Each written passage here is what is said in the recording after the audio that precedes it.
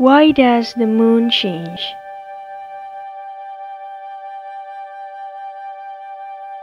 When we look at the night sky, the moon seems to change its shape day by day because the moon revolves around the earth.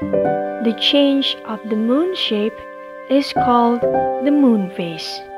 There are eight phases of the moon. The first phase of the moon is called the new moon. In this phase, we cannot see the moon yet.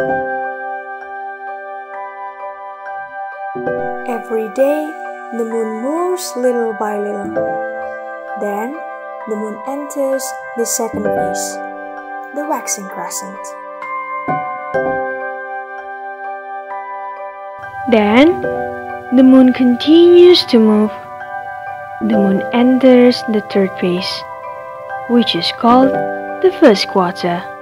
We can see half of the moon.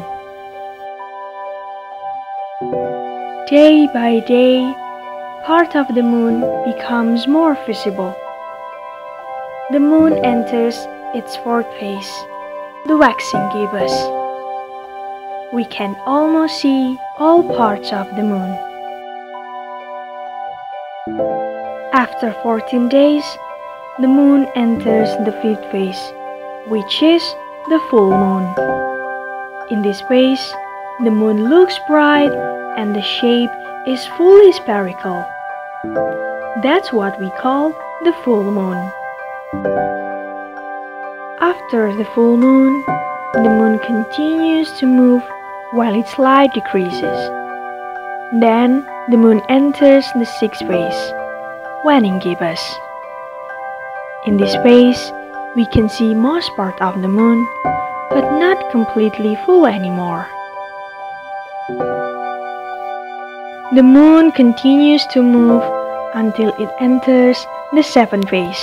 The seventh phase is called the first quarter. In this phase, we only see half of the moon.